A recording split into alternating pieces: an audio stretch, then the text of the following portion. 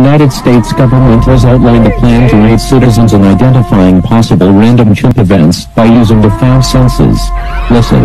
Do you hear an approaching hoo-hoo or stampeding quadruple footsteps? If yes, there may be a chimp event. Smell and taste. Can you smell the chimp? The musty, stinky chimp? Can you taste the smell? Does it get stuck in your mouth?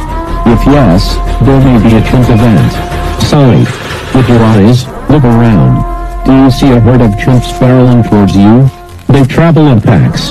If yes, there may be a random chimp event. Touch. Do you feel the burly hands of a chimp around your neck? Do you feel your bones snapping? If yes, there may be a chimp event. The United States military has been deployed to the cities being attacked. You may hear the sound of gunshots from outside. Do not be afraid. The military is cleansing the streets of the